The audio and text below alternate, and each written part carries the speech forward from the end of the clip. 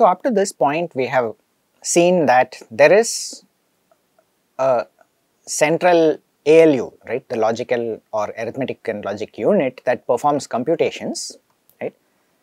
And in association with that there is some kind of a memory block that stores the data and perhaps the operations that need to be performed, okay. Now the real world kicks in, right. Physics comes into the picture and what it, it says is, if I have a small amount of memory, right, that needs to be connected, it's not a problem because all that will happen is there will be a few wires that need to be connected from this memory to the ALU, okay. There will be some kind of gates that are required in order to take the address that I am interested in and actually figure out which value in this memory needs to come out, right. So, there is something called address decoding, right. So, address decoders could be fairly small provided that my memory itself is small and I can probably get by with relatively small gates or more importantly a small number of gates, right. So, it is not so much about small gates. Once again the term gates for those of you who have not yet done a course on digital logic, those are the in some sense the fundamental building blocks of how we are building up this entire digital circuit that can do this job for us. Okay. Now intuitively it would be fairly clear that when something is compact, small, there is a good chance it is also fast, right. It is easy to build, it all fits within a small space, the sort of you know wiring lengths are relatively short, the capacitances or the you know uh, current required to charge up any uh, part of uh, the uh, different circuitry to different voltages is going to be small, okay. And such a circuit, if I can build it, is probably going to be quite fast, okay. What exactly does fast mean? Once again, this is being used in a very loose sense, right. In order to really understand what we mean by fast, you need to start getting into the details of how this thing is actually going to be operated. For now, all that we need to think about is, when we say fast, compared to human thought, which occurs in the, you know, time scales of milliseconds or tens of milliseconds or even more than that, this is several orders of magnitude faster right. It is quite easy to come up with these kind of circuits that operate on the time scales of microseconds, more importantly or much more commonly in the time scales of nanoseconds, right. So, it could be like 3 to 6 orders of magnitude faster than what the human brain is working at. But that is it, right. The kind of operations it is doing are fairly simple, it is just able to add two numbers or multiply two numbers together, right. And it is quite clear that the human brain is doing something else. It is not just adding numbers together. We do not quite know exactly what it does or how exactly it does the processing, but it does not really make sense to compare the two beyond a point. All that we can say for sure is if we do need to add two numbers together, this computer would be able to do it much faster than the human brain could. Okay, so far so good. And even in the context of you know uh, digital circuits, clearly having a small circuit intuitively it seems obvious why that would be quite fast. Okay. Now, what if I wanted to increase the amount of memory, right? Why would I want to do that? Simple, I want to have more instructions, more data, right? I want to write a larger program which performs more computations for me, right? If such a thing happens as we can imagine, the wiring starts to get a little bit more complex, right. Now it is no longer so easy to get that same you know the connection from all of these things into this ALU. The number of wires becomes more and possibly you know any kind of decoding that I need to do in order to figure out where in the memory I need to either read from or write to, that also starts to get a bit more complicated, okay. The area of whatever chip you are building to do this is naturally going to increase simply because well you know this memory is going to become larger but not only that, even these wires are going to start occupying a lot more space. What usually happens when something becomes larger is that it also becomes slower, right? And naturally at this point what we are seeing is that the memory starts to become slower than the operational unit. Okay, what I mean by the operational unit is the ALU out here. So the ALU is still something relatively small. All that is doing is taking two numbers, adding them or multiplying them and so on together. but this memory is starting to expand, right? I want to store more and more stuff in it, but that means that it's getting more complicated, right? And it starts to become slower. And is there any practical limit to where we would want to go? That's not so obvious, right? There is every reason why I might want to consider having a really large program, okay? And what would a large program mean? It would essentially mean a long sequence of operations, right, which is perfectly understandable because, you know, I might want to model larger and larger systems, perform more computations, any number of reasons why I might want to do that, right. This becomes physically harder to make. I mean, I, you know, you can already see that, well, obviously I would need to figure out a different way of constructing it. I don't want it to become a thin long line like this maybe I could break it up, you know, rearrange it in some kind of a better rectangle or like closer to a square kind of a shape and so on. All that is good and in fact it's done. The problem is it doesn't make it any faster. In fact, it usually becomes really difficult to make something that is going to operate really fast, right, while also being able to handle this level of complexity. So, speed is going to be a major casualty out here, right. The memory rapidly gets to the point where yes it is capable of storing a large amount of information but it is also going to be significantly slower than what the ALU is capable of handling right. What do we do about this right? Does it basically say that you know there is a limit to how big my memory can be and that is it you can't run programs bigger than this okay. That does not seem like a very useful conclusion right. So, we obviously want to find a way around it. One way to look at it would be okay I have this large memory that is capable of storing huge operating sequences which basically means large programs and huge amounts of data. And I have my ALU, my computational unit that remains the same as before, right? It is capable of taking two inputs at a time and performing a computation.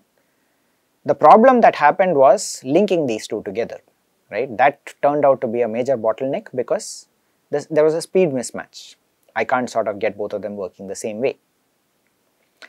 The trick that's used in order to get around that is to say let me break this up, right. I am going to create one small amount of memory and put this into close connection with my ALU, right. So, anything that's sitting in this small amount of memory out here is very quickly accessible from my ALU, okay. And I will be able to perform all my operations, my plus, star, whatever it is that I want to perform directly with the data that is sitting inside this small block of memory. I essentially think of it as a temporary memory, right. Why I am saying temporary memory is because it is small, I can't really use it for storing everything that I need for the program, right. What I do instead is, whenever I need to, I pull in some data from my main memory into my temporary memory.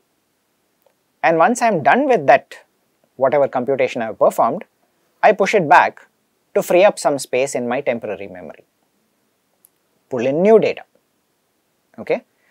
Because I know that the actual data that I am dealing with is always going to be stored safely out here, it means that anything that is stored in this temporary memory is temporary, it can be discarded as required okay. In fact, what is usually done in practice is we go one step further, we do not just think of it as a temporary memory, we do not think of it as you know just an address and then only one of those values can be read out at a time. We usually refer to these things as something called registers, okay. So, the registers are a form of temporary memory, they essentially are very closely tied to the ALU, right. They are capable of storing only a small amount of data because if I start having too many registers, I run into all the problems that I was trying to avoid, right. But they are fast. Anything that is stored in a register is immediately accessible to the ALU. The ALU is capable of performing any kind of arithmetic operation pretty much in one clock cycle so to say, right.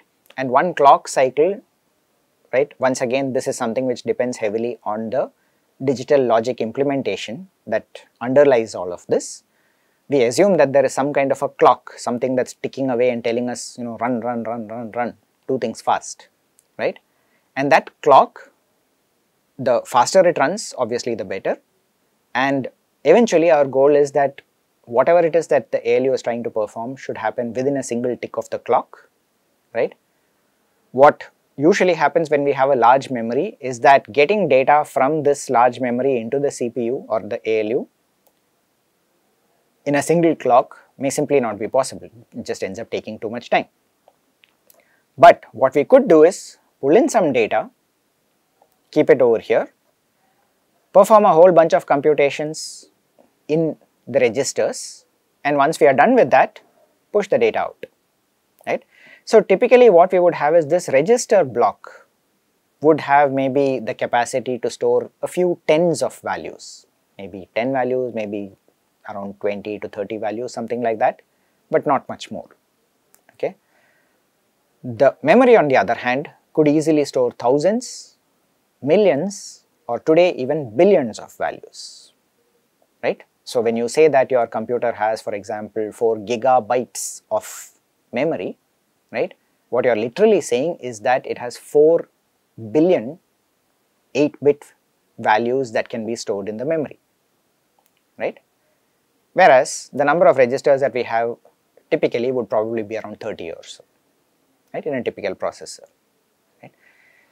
So, we have figured out a way whereby this huge amount of memory can be brought in to the registers temporarily, you perform the computation, push the results back into main memory and then basically clear up whatever is there in your registers. You do not care what happens to it after that because you have already saved it somewhere. Okay. So, this block which basically combines the ALU and the registers is usually what we refer to as the CPU, the central processing unit and in some sense is the core of your computer. Okay. When you say, when you, you know, look at your laptop and it says that it's a quad core machine, it basically means that it has four such units, four ALUs plus their corresponding registers, right.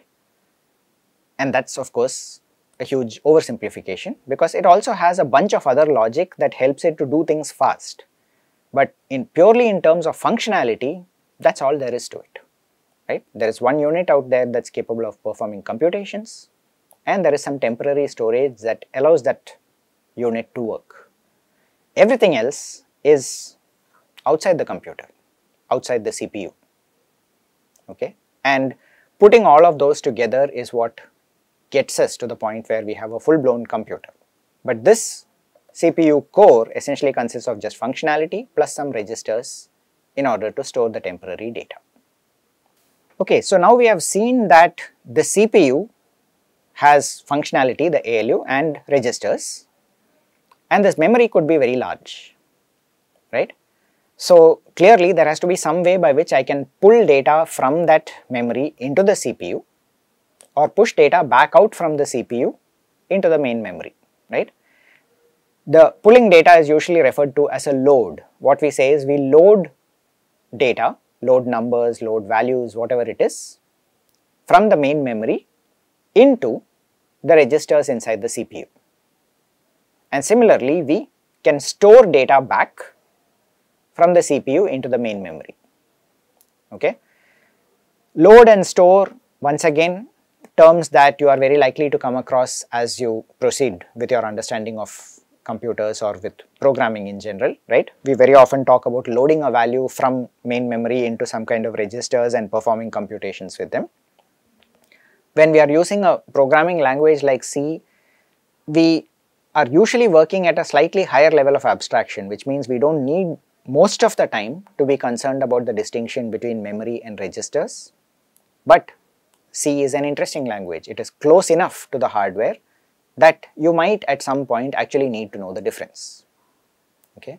And if you do come across these terms load and store, this is essentially what it's talking about, right? There is some memory that is large and you need to load parts of that into the registers of the CPU, perform computations and store the results back.